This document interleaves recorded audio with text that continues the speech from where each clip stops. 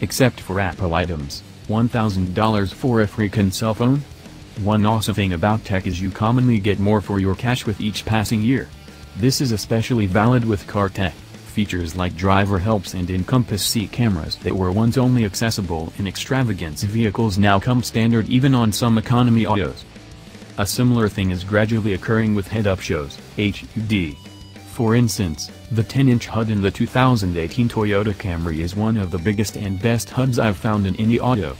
Furthermore, a major change on the considerably littler HUD in the most recent Toyota Prius. Mazda is another standard brand that offers HUDs in a few of its vehicles. However, rather than installing costly parts in the dash and utilizing an extraordinary windshield, the HUDs in the Mazda 3 and Mazda 6 utilize a thin plastic focal point that folds down when not being used. Scaled down has a comparative arrangement, however this minimal effort approach has restricts as far as size and position of the pictures contrasted with customary HUDs that utilization the windshield as a screen. We're additionally beginning to see comparative focal point-based secondary selling alternatives that can be added to any auto. A year ago I tried a versatile HUD called Navdy that takes advantage of an auto's OBD2 port to give data on speed and RPM and utilizations worked on GPS and Google Maps to demonstrate the encompassing zone, show speed breaking points and course you to your goal.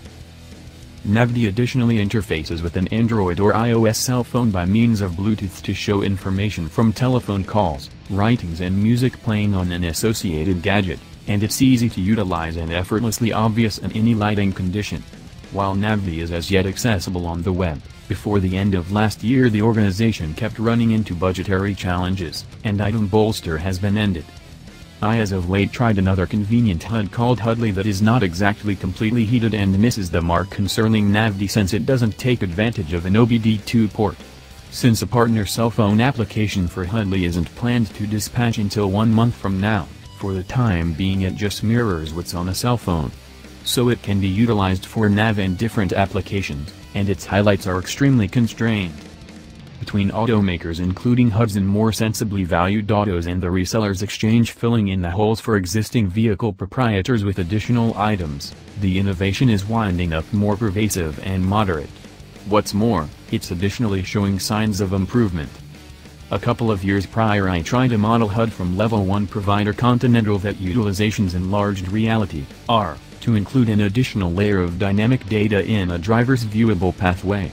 For instance, when moving toward a turn with a goal set by the route framework, rather than a static bolt pointing the way, Conti's R HUD overlays a hued pathway making a course for direct the driver through the move, which is particularly useful while arranging confounded crossing points on a new street. The R HUD likewise enhances driver help frameworks by giving particular alarms. Combined with path takeoff cautioning, it anticipated a line of virtual raised markers onto the street's painted path lines, while the test vehicle's vibrating situate cautioning highlight influenced it to feel as though the tires were running over genuine bots. When it veered off base and over the virtual markers.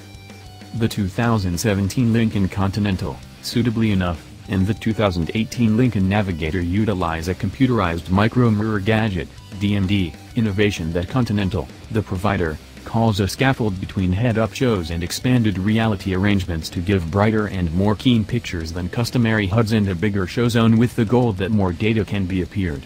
Conti says that it intends to have the full R HUD that I tried underway by 2023. HUD innovation isn't new, it initially showed up in an Oldsmobile Cutlass Supreme in 1988. We've been sitting tight 30 years for HUDs to be accessible in a more extensive assortment of vehicles, and it appears we're very nearly the innovation at last going standard. What's more, now that autos, and drivers, are getting to be immersed with tech, it can't come soon enough.